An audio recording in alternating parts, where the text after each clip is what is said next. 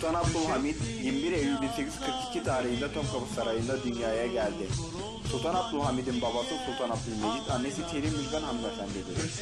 Sultan Abdülhamid 10 yaşında annesini veremden kaybetmiş, bu yüzden kendisini Prensli Kadın Efendi yetiştirmiştir. Şehzadelik yıllarında ticaretle uğraşmış ve kazancını kendisi sağlamıştır. 1867 yılında amcası Sultan Abdülaziz ile Avrupa seyahatine çıkmış, orada birçok teknolojik gelişmeyi incelemiştir.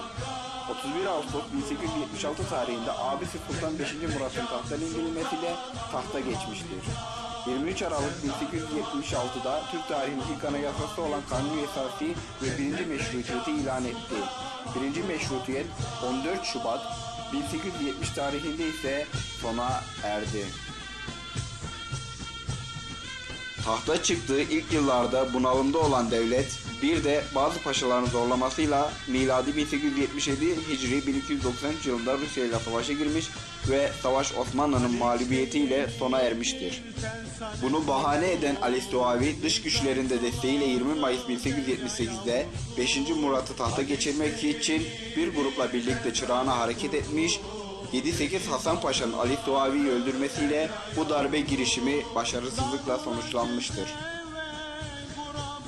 Sultan Abdülhamit bir istihbarat teşkilatı olarak Yıldız İstihbarat Teşkilatı'nı kurdu. Haberler daha sahibine ulaşmadan Abdülhamid'e ulaşıyordu. Sultan Abdülhamit denge siyasetini başarıyla uyguluyor ve devlete yönelen tehlikeleri bertaraf ediyordu. 1897 yılında ise dış devletlerin kışkırtmalarıyla Yunanistan Osmanlı'ya savaş ilan etmiş ve Osmanlı-Yunan Savaşı başlamıştır. Savaşta Osmanlı ordusu Atina önüne kadar gelmiş ve savaş Osmanlı'nın zaferiyle sonuçlanmıştır. Sultan Abdülhamit aynı zamanda devleti ayağa kaldırmak için birçok hamle yapmıştır.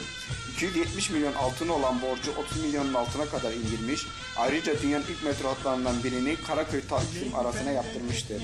İlk gaz, ilk elektrik, ilk otomobil yine bu dönemde gelmiştir. Ayrıca Hicaz Demiryolu da bu dönemde yapılmıştır. Sultan Abdülhamit petrolün ne kadar değerli olduğunu görüp bir petrol haritası da çıkarmıştır. Konya Ovası, Hamidiye Köprüsü, tüp geçit gibi projeleri de hazırlamış ancak projeler yapılamamıştır.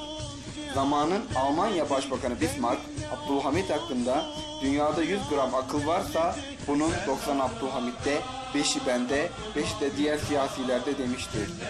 24 Temmuz 1908'de İttihat ve Terakkicilerin baskısı ve çıkan isyanlardan dolayı 2. Abdülhamit, ikinci meşrutiyeti ilan etmek zorunda kalmıştır. Bunun neticesinde miladi 13 Nisan 1909 Hicri 31 Mart 1325 yılında ise darbeciler tarafından tahttan indirilmiştir. Ve yerine tahta Sultan Mehmet Reşat geçmiştir. Yönetimi ele geçiren iddiaçılar Sultan Abdülhamit'i sürgün olarak Selanik'e göndermiştir. Sultan Abdülhamit 10 Şubat 1918 tarihinde ise İstanbul Beylerbeyi Sarayı'nda dünyaya gözlerini kapamıştır. Allah mekanını cennet eylesin.